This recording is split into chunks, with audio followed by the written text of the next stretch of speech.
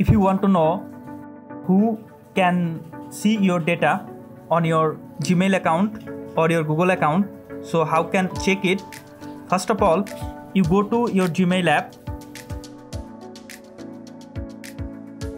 Now click on your profile icon. Now go to manage your Google account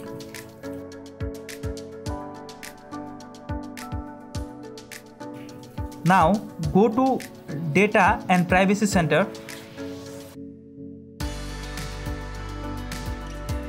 Now scroll down and see here who can see your data. This option showing on my Gmail account profile.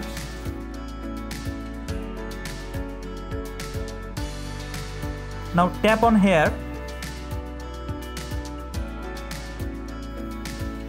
now we can see only you can see your history and ad preference.